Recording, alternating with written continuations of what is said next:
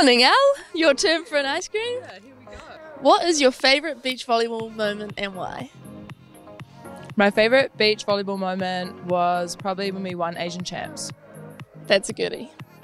What is your favourite New Zealand beach and why? I'm gonna have to go with the South Island beach for sure because I'm from the south. Uh, so probably Tata Beach in Golden Bay. It's just beautiful um, and just the water's so nice. Haven't been there, but sounds good.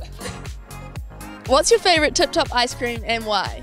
Well, I love a fruju, but I'm gonna have to go for chocolate carpety. It's just a staple. It's so good every time. So Love it.